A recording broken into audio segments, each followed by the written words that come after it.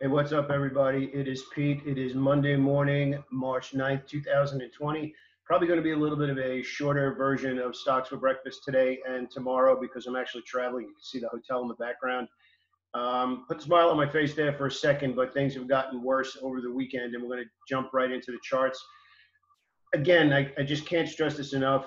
If you are a part time trader who is seeking to take advantage of the volatility that's in the market right now, I strongly recommend that you kind of step aside and wait for a little bit more normal conditions. Uh, I'm going to point something out right now that stock traders actually wouldn't know that much about or really have not experienced. And we always we've been starting out with the futures market to kind of get a gauge uh, what the levels might be if we're up or down overnight.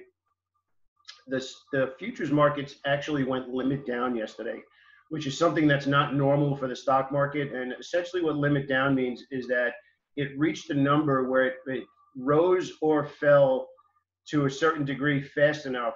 I'm not even sure if fast enough is, is uh, the right word, but it rose a, a, certain amount where they shut the futures markets down. And when, it, when a futures goes limit up or limit down, that's the actual terminology, that it basically means it stopped trading and you can't get in or out of positions. It's literally stuck there. Now, the interesting thing, for those of you that don't know, I actually used to, I began trading in commodities way back in 1994, and uh, there was a coffee uh, surge. I think it was 95, if I'm not mistaken, and it just kept going limit up. And what limit it up does, or limit down, or limit move in the futures markets, just so you understand the severity of it, when it goes limit up or limit down, it shuts down for the day. So there were periods of time where it was going limit up in coffee for days in a row, and you couldn't do anything. You couldn't you couldn't sell, you couldn't buy, you couldn't do nothing. So that doesn't happen here. We're obviously going to open up in the stock market, but I want you to have an, uh, a, a, a, a I got to use the right word. I want you to understand the severity of a market going limit up or limit down. So as I said, if you're not a full-time trader right now and you, and you're you have some other full-time job and somebody's managing your portfolio, but you're watching these videos to become a better trader, to really learn what to do.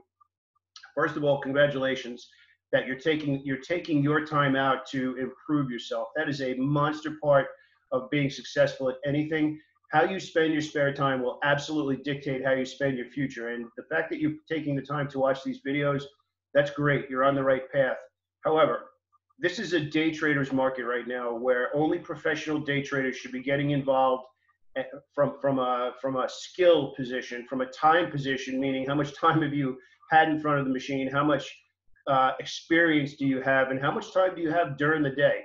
And the reason i keep saying this and i'm bringing this up i'm trying to i'm not trying to sound conservative. But what i am trying to sound is experienced and I've experienced markets like this. I've traded through the internet boom. I've traded through the financial crisis. There's been a bunch of stuff where stocks are just moving violently. And if you're trying to trade it part time while you're doing another job full time, you, you're going to have a very tough, bad experience because you could literally see something. I'll give you here's the best. Here's easily the best way to explain it.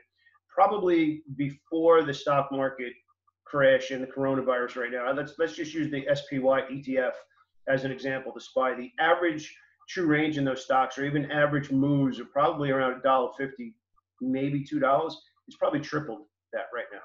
So not only has the risk amount per trade expanded dramatically, but they are moving so fast right now that you could literally put a trade on, think that you're in a good position, go to lunch, come back, and not be watching it, believing that you have the good trade on, and we could be reversing dramatically in the other direction. So even though we're not getting into a ton of trades today, I want I want to I really want to impart to you the wisdom that I've had and how I've lost a lot of money early in my career, not understanding certain situations that you need to pull back away from because it's just not worth the fight if you're at another job full time. And and I can't stress this enough. The market's going to get back to normal eventually. Smart people will eventually figure out what's going on with the coronavirus and and take care of it, and the market will get back to normal price movement. But that doesn't mean that you need to trade now in and out, in and out, in and out if you're not doing it full time. If you are doing it full time, my gosh, do you have an environment right now that is just tailor made for being in front of your screen, especially if you have a good commission structure, which quite honestly most people do today. Yeah, you could trade for zero at some of the, at some of these larger brokerage firms right now. Um, if you are trading full time, um, what I'm going to do now is I'm going to touch on a couple of headlines, and then I'm going to I want to keep going back to the, the the trading game plan that I think that if you are at a machine and you have relative experience, don't quite have your uh, full strategy really fleshed out. I'm just, I'm just going to show you what I'm watching during the day. We've gotten some super testimonials uh, of people that have been using what I'm about to show you over the last week or so.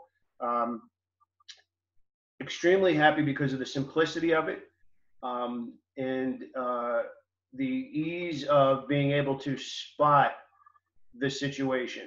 Now, I'm, I'm, I'm going to go back to the screen. We're going to we're to take a look at a couple of um, charts, uh, a couple of news stories, and then I'm going to go into the game plan, and then we'll call it a day. So let's actually uh, let's share the screen. Hopefully, I can do this correctly.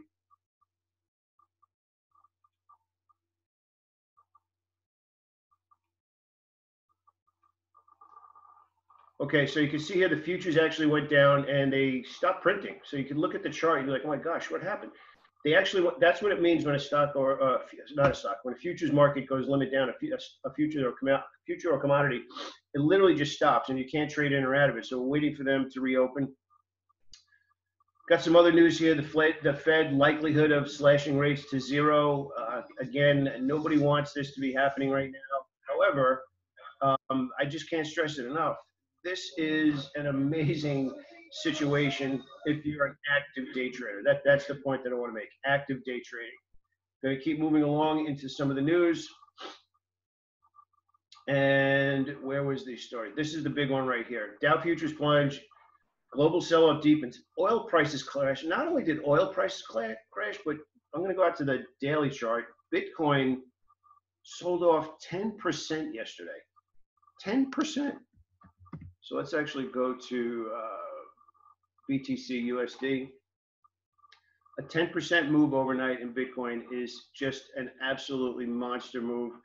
Um, this is exactly why, why I'm trying to stress to everybody you don't need to be involved in every single day, every single day in the market. You, what you need to do, and here's the way I basically explain it you need to pick the fights that you have a good chance of winning and that includes the type of market that you choose to trade. Now, you think about it right at the beginning, we all we choose to trade um, every day, or we want to choose to trade every day, and then you you look for opportunities that match the strategy that you have, your edge. And again, as I talked about in the previous video, it, the best compliment that anybody could give me is, is is they'll tell me, "I'm trading your strategy." And I couldn't find anything to do today. That's amazing because that means that they're really they're looking for something specific as opposed to just trying to find something. So this market right now, you can definitely find something on these shorter time frames, and I'm going to uh, map this out again. I'm going to take that off the screen so it's easier to see again. We'll be able to see it up in the top corner here. So obviously I'm talking about Roku right now. So the strategy that is working like gangbusters right now is we're just looking first at the opening price. And again, this is a 15 minute chart of Roku. And that is our first line in the sand to determine if we want to be a buyer or a seller. In, mark, in, um, in market terms, that means you want to be long or short. So long means you're a buyer, short means that you're a seller. So if, the, if we're trading below the opening price, that means that you want to be short in this scenario. We also said that you can use one extra filter on an intraday basis is use your hourly chart. So you can see there are 60 minute charts right now to determine if you want to be long or short that hour. So the first signal is we want to be above or below the opening price because that's today's tape reading barometer. Remember, everything that we're doing is we want to move you from chart reader to tape reader. The first part of tape reading is having a price. And again, normally that price is your entry price, but we're trying to determine that before we put on a trade. So we have the hourly chart combined with the opening price, and that will determine if it's the right trade to make right now. So what I mean by that is we're below the opening price. That means we want to be short. Then we look at the hourly candle needs to be in sync with the opening price. So in this case here, it's red, red, red. So these three hourly candles, we would go back down to the lower time frames, either the 15 minute or the five minute chart and look for entry prices. So we happen to have had uh, bearish U-turn and a swing high here on both the 15 and on the 5 in Roku. Here's the 15 minute one. Then if we go back out to the hourly chart, this hour was not red, so we wouldn't look for entry prices. This hour turns red again, so now we're looking for short sales again. And then the last two hours of the day, we spike and we don't even look for an entry price. You can kind of see how it actually works for those of you that are trading, let's say ETFs. The um, the SPY was actually a different story. So let's, this is actually a good example here. The SPY was down here, which was opposite of the Roku trade, and that pretty interesting, right? So all of a sudden now it's a different image where the SPY was actually above the opening price the entire day and it gapped down and you had a much different decision. And we actually had a couple people send over some nice messages about being long uh, here once we got back above the opening price. Because uh, if you look on the 60 minute chart again, we actually went well bid here, which is higher highs, higher lows, and we got above the opening price. You had very short term confirmation there, but if you drop down to the five minute chart, you can see that you actually closed above the opening price here. You are now well bid on the 60 minute chart uh, and got a really nice push into the close. And this is kind of what I'm talking about, how much prices have expanded. 293 to 298.50 in a very short period of time. Um, those are some wild moves, but absolutely perfect moves for uh, for day traders. So hopefully, what I just explained to you gives you a really clear intraday scenario. But I, and I'll touch on this in a little bit later video, maybe later in the week when I when I actually get home and in front of my computer again. Um, you could use the same tape reading principles that I'm showing you on intraday charts. And, and, it's actually easier to show you on intraday charts because there's so much more movement and you can fluctuate back and forth. You you can go from higher time frame to lower time frame and that kind of stuff. You could do the same thing on higher time frames. You could use quarterly, monthly, weekly, and daily to determine whether or not you want to be long or short. So the quarterly chart chart would need to be red or green above the opening price for that month that just started, whether or not it's well offered or well bid, and then you would work your way down to lower time frames to time your entries, and then go back to the higher time frames to uh, to hold those winners longer. That's one of the biggest questions: is how do I know how how to hold my winners? Because once you start to get the tape reading principles that I'm teaching to you, it's the biggest problem you're going to have, and I and I promise you this is going to be a problem because a lot of my students, if not most of my students, once once you come out of the program or, or once you really grasp these principles, uh, it's it's the most common thing is I'm making fewer bad trades, which is a great sign. I'm making more good trades, which means that you're in more winning trades, and that ultimately becomes how do I hold my winners longer? And that's kind of like that that last secret part that most people don't talk about because you go to the higher time frames to determine if you want to be long or short then you drop down to the lower time frames to fine tune your entries, and people stop there. Great traders go back to the higher time frame and say, well, the higher time frame is still long. There's no reason for me to get out.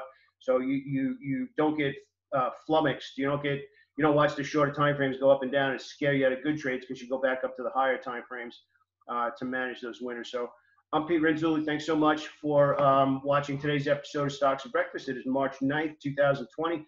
If you found it helpful, click down and subscribe. We'd really appreciate it. And you also get updates. And uh, again, please heed my uh, wisdom. And I say wisdom not because I'm smarter than you, just because I've been trading for a long time.